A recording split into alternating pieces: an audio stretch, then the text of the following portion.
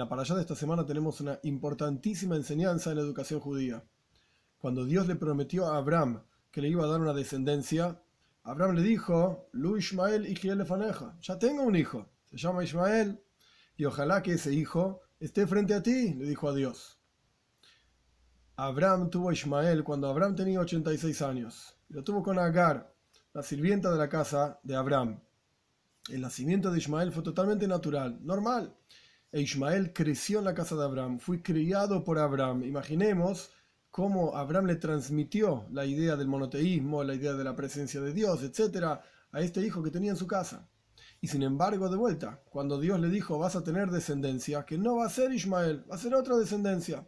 Abraham pidió, espero que Ismael sea mi descendencia. Hashem le dijo que no. Y en lugar de esto, Hashem le dio otro hijo, Itzhak. Cuando Itzhak nació, nació en forma totalmente sobrenatural, porque Sara era estéril, no podía tener hijos. Y Abraham tenía 100 años, Sara tenía 90 años y tuvieron un hijo en forma totalmente sobrenatural, que se llamó Itzhak. Ahora bien, ¿cuál es la verdadera diferencia entre Ismael e Itzhak? Se plantean dos cuestiones. La primera cuestión, como mencionado, Ismael nació en forma natural. Itzhak nació en forma sobrenatural. Ismael se hizo el bris, el pacto, la circuncisión a los 13 años, e Itzhak le hicieron el bris a los 8 días, porque no podía hacer nada, a los 8 días. Y de vuelta, cuando Dios estaba estableciendo el fundamento del pueblo judío, ¿a cuál de los dos eligió como descendencia real y legítima de Abraham? A Itzhak. ¿Por qué? Porque el enfoque hacia el judaísmo no es un enfoque que viene de un nivel racional, el enfoque del judaísmo que tenía Ismael era, mi padre me enseñó, mi padre me dijo lo que tengo que hacer, mi padre me educó como correspondía. A los 13 años yo decidí por mi propia cuenta hacer el bris, la circuncisión.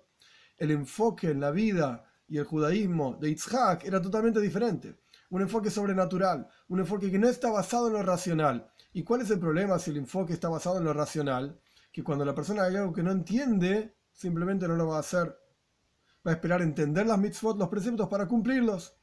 Y esta es la actitud de Ismael, no es la actitud de Isaac.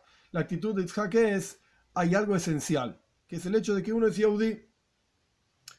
Esto es lo más importante.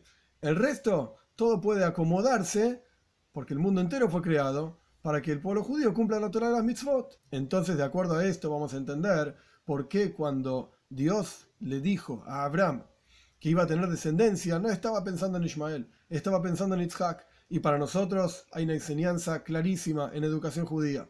No hay que educar al chico de manera tal que uno no le dé el judaísmo, o Dios libre y guarde, le dé un judaísmo lavado, aguado, de manera tal que el chico cuando sea grande va a elegir, porque de esa manera todo el enfoque va a ser como el de Ismael, un enfoque racional hacia la vida, hacia el judaísmo, y no va a tocar la esencia de Dios sino que en cuanto el chico nace, a los ocho días ya hay que hacerle bris. Esto significa el enfoque es algo totalmente sobrenatural, porque la vida del Yehudi sobre esta tierra es algo sobrenatural y la misión es traer a Dios a la tierra en forma totalmente sobrenatural y este es el enfoque de Yitzhak. Y por eso la descendencia de Abraham, la verdadera y legítima descendencia de Abraham y el patriarca del pueblo judío es Yitzhak y no Ismael.